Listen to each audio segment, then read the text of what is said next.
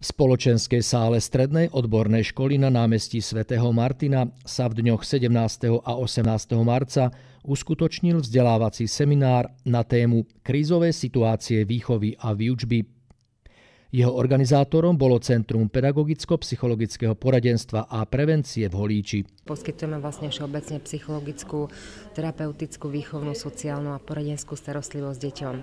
V našej intervencii zistujeme, že rastie čoraz väčší počet detí s určitými problémami v správaní a čo je dôsledkom vlastne tohto problémového správania už necháme potom na odbornej lektorke, ktorá nám o tom povie určité informácie, ktoré má ona z klinickej praxe. Cieľom seminára bolo upozorniť pedagógov i rodičov na možné príčiny výchovných problémov detí v školskom prostredí a v rodine a ponúknuť inšpiráciu na riešenie týchto situácií bez silových prvkov a zbytočných sankcií.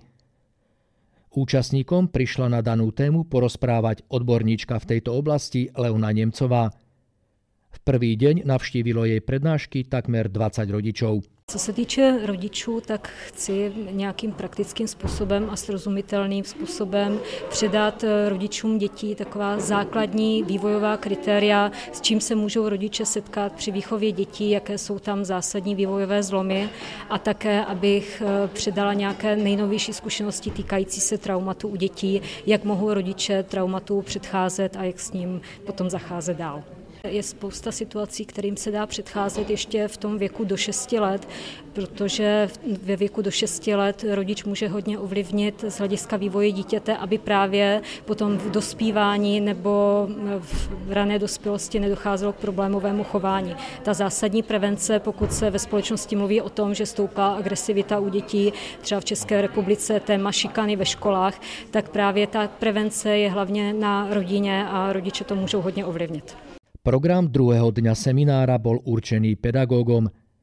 Z úst renomovanej odborníčky sa účastníci okrem iného dozvedeli viac o problematike správania sa detí v škole i o tom, ako predchádzať či riešiť problémové situácie školákov. V tom základu učitele nejsou příliš připravováni na to, aby řešili krizové situace a je to spíše na těch jednotlivých učitelích, jakou oni mají sami osobní autoritu, osobní charisma a jak se oni dál vzdělávají, aby uměli s tou svojí konkrétní třídou zacházet. Aby se nasměrovali eh, v nějakých podrobnějších informacích, jakým způsobem se můžou dál zajímat o spoustu věcí, třeba i literaturu.